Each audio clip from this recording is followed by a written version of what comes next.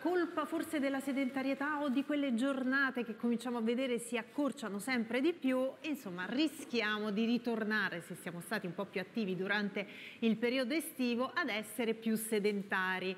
Qui non vogliamo ovviamente sgridarvi, ma vogliamo darvi dei suggerimenti molto utili. Con noi, e do il buongiorno e ben ritrovato buongiorno. al professor Calogero Foti, docente di medicina riabilitativa presso il Policlinico Tor Vergata di Roma. Buongiorno. Buongiorno a lei, buongiorno agli ascoltatori. Allora, facciamo insieme un po' di esercizio fisico, facciamolo in sicurezza e facciamolo a casa, che è molto più semplice, appunto però in sicurezza.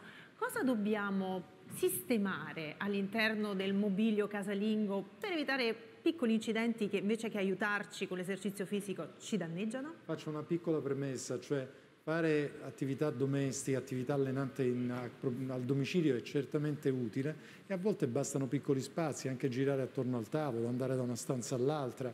Ecco, già questo è un'ottima attività.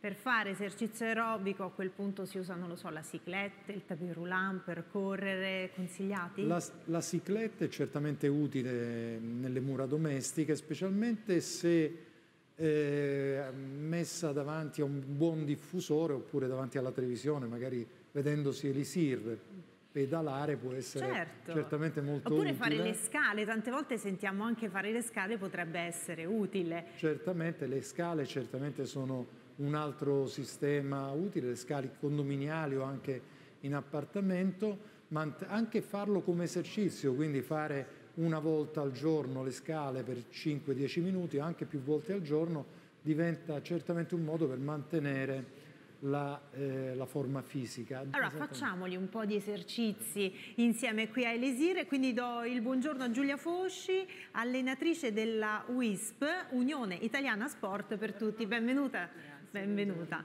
Allora, qui abbiamo una sedia, una sedia che potrebbe essere molto utile per fare degli esercizi. Per esempio, cosa potremmo fare Beh, grazie per, a questa sedia? Per, per esempio possiamo iniziare mobilizzando la colonna dorsale e cervicale con questo movimento che è molto molto utile, come vedete eh, estende il capo e contrasta la cifotizzazione della colonna, quindi un esercizio delizioso che viene fatto senza carico e quindi, quindi utile.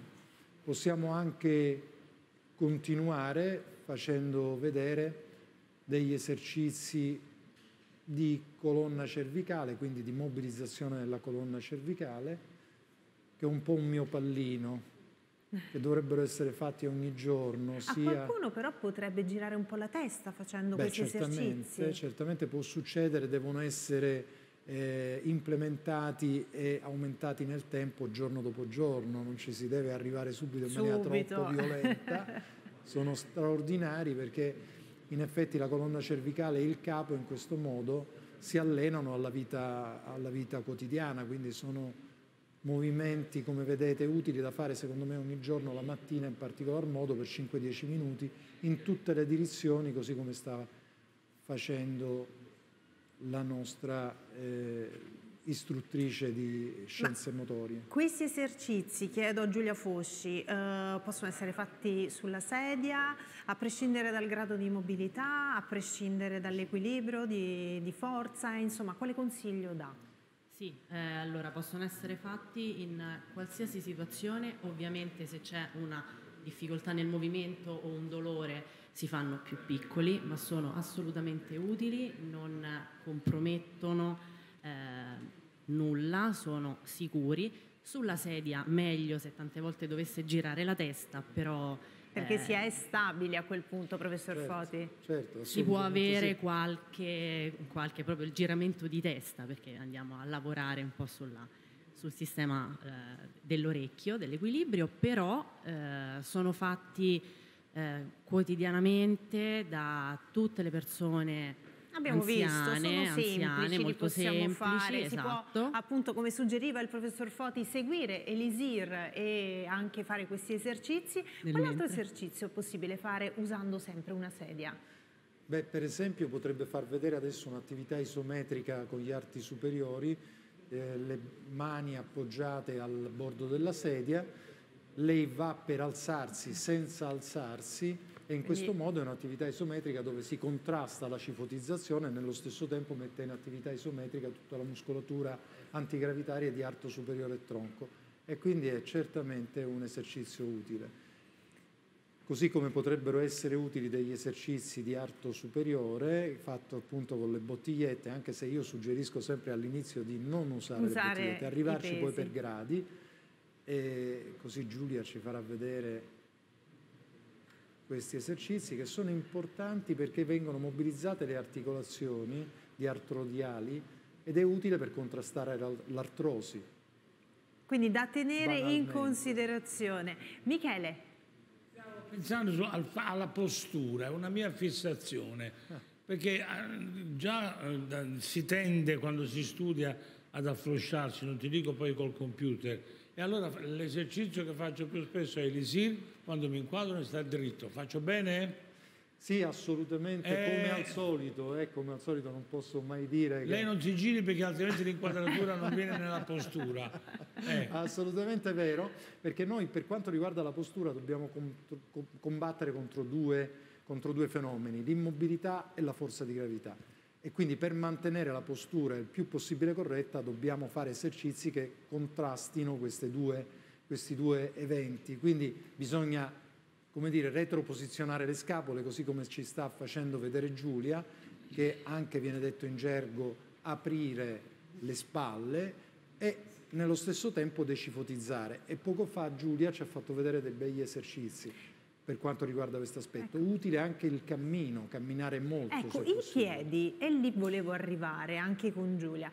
Eh, cosa si può fare per allenare anche i piedi? Perché comunque sono un punto di riferimento fondamentale sia per l'equilibrio ma anche, eh, Giulia, per evitare distorsioni. Assolutamente.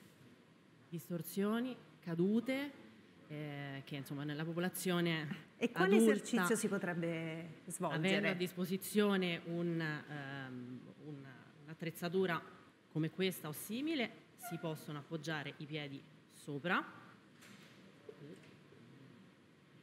e mantenendo una postura corretta, senza stare Quindi, dritti. Sì, dritti, dritti con una, la schiena in allungamento. Eh, fare esercizi di mobilità generale, niente di specifico, esercizietti per mantenere la caviglia mobile, per mantenere il polpaccio attivo in modo che possa essere utile per il sistema vascolare. E, ehm, mantenendo una postura corretta c'è poi anche tutta un'attivazione degli arti inferiori, del tronco. E diciamo che è anche molto semplice da reperire esatto, uno esatto, strumento stando, del genere. Stando seduti, italiano, stando sì. seduti è un esercizio molto semplice, si può fare avanti alla televisione. L'importante è mantenere troppo. una postura e allora, corretta. consigli ce ne sono veramente tanti. Benedetta. Professor Foti, in realtà è un dubbio che ci ponevamo in redazione, ma fare attività aerobica, a parte i, i mugugni di Michele qua, che sta lavorando sulla sua postura, all'aria aperta rispetto all'interno di una casa, di una palestra, c'è una differenza in termini di benefici intendo? Beh, certamente Benedetta. Eh, sarebbe meglio lavorare sempre all'esterno, specie noi che viviamo in Italia e abbiamo un clima sicuramente accettabile. Gli esercizi all'aperto permettono una respirazione, quindi scambi polmonari molto più efficaci e inoltre aggiungono un po' di, dire, di suspense agli esercizi perché vengono fatti insieme agli altri, insieme alla, alla vita che scorre all'esterno. Oltretutto un ultimo, un recente studio di un gruppo inglese ha visto come l'attività all'aperto, specie lungo le coste, sia favorevole sia per il tono dell'umore sia per il, eh, il, miglioramento della qualità di vita di queste persone che vivono lungo le coste. Quindi certamente l'esercizio fisico all'aperto aiuta, non c'è dubbio, però è pur vero che farlo in casa assicura una sicurezza nel fare esercizi domestici. E poi comunque che... ci si muove, il che comunque, comunque ci, ci, fa molto bene. Ringrazio intanto Giulia Fosci, allenatrice dell'Unione Italiana Sport per Tutti, Grazie. per averci aiutato e consigliato alcuni esercizi.